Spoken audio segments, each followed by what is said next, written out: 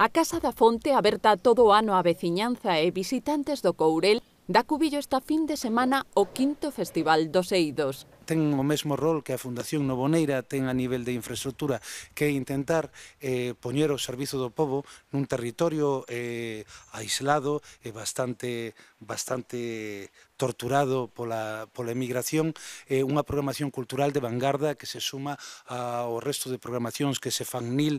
Un programa internacional inxerido nas redes europeas de festivais que nesta edición trae a aldea de parada grupos de Bélxica, Serbia, Dinamarca e Hungría. Cumple ademais a vontade de ser a programación da cultura da vanguarda máis completa das montañas de Lugo e literaria de Galiza, Ten propostas musicais, audiovisuais e de lecer familiar para todos os públicos e idades. Lecturas poéticas, danza, teatro e música con nome propio.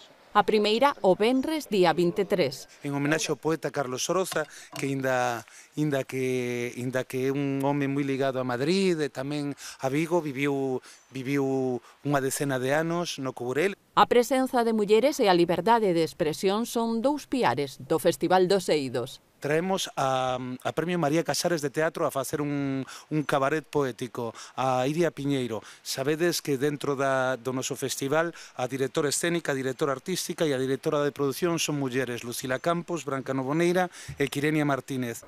A Fundación Uxío Novoneira cumpre o seu décimo aniversario cando hai 20 anos do falecemento do poeta do Courel.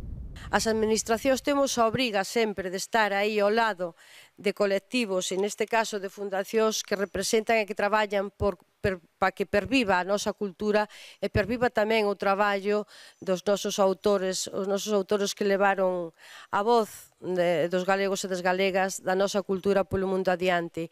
O festival complementase cun obradoiro de realización audiovisual dirixido por Pepe Coira e Gaspar Broullón, visitas guiadas e exposicións no interior e exterior da casa natal do autor dos Eidos, libro do Courel.